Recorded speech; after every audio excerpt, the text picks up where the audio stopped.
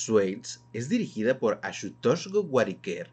y cuenta la historia de Mohan, un exitoso científico indio que trabaja para la NASA, el cual está a punto de concretar uno de sus proyectos más grandes de su carrera. Pero este, antes de continuar, quiere que esté presente Kaveri, su nana y figura materna que sigue viviendo en la India, por lo que pide permiso por unos días para ir a buscarla después de muchos años de no verla.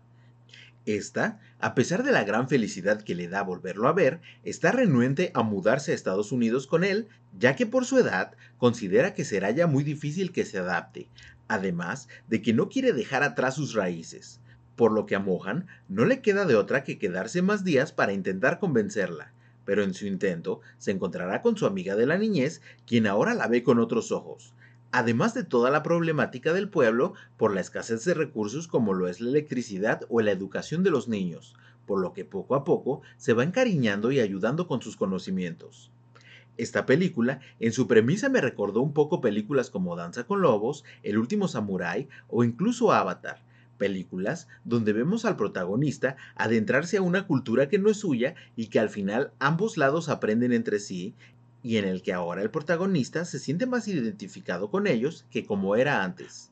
Y es que aunque Mohan es indio, ya tiene una actitud más americanizada y estaba perdiendo sus raíces.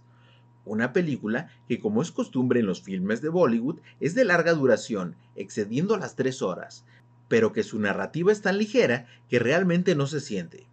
En conclusión, Swaits es una película familiar con un buen mensaje de no olvidar tus raíces y ser agradecido con tus padres, que si bien es predecible en ocasiones, la experiencia es placentera.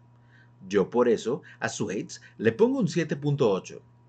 Como siempre, los invito a escribir en los comentarios qué les pareció esta película y no olviden suscribirse para más contenido de la cultura pop. Hasta la próxima.